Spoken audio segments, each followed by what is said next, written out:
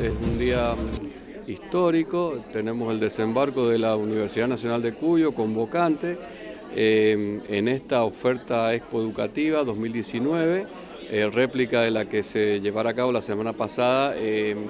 en la Casa Central, no se había realizado en esta magnitud. Eh, eh, la Universidad Nacional de Cuyo convoca y también participan otras universidades este, privadas y otra oferta de los institutos de eh, educación superior vinculados a la Dirección General de Escuelas. el hecho de ofertar justamente aquí en el territorio para todo el ámbito del departamento y en general de la región sur de Mendoza la oferta completa de que disponen nuestros estudiantes, con alguna serie de ventajas potenciales. Eh, evitar el traslado de los estudiantes a, este, a la ciudad de Mendoza eh, y justamente eh, mantener la misma oferta difundida en la casa. y por otro lado, estar presente en el territorio también nos brinda las facultades y unidades académicas que forman este, la Universidad Nacional de Cuyo, su compromiso con carreras puestas en el territorio.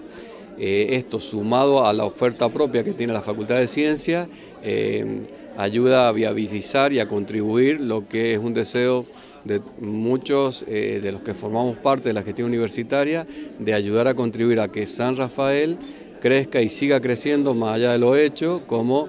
ciudad universitaria con trascendencia nacional y, también, ¿por qué no, internacional? Hay alguna oferta que se vincula a la formación de humanidades, ¿sí? Eh, que se, bien dependen de otras facultades de un cuyo, se dan acá en el territorio, se dan por cortes, eh, hay años que se dan en base a la demanda, hay años que no se dan juntando una masa crítica que, justamente que justifique la demanda. Eh, pensemos que estamos en un crecimiento institucional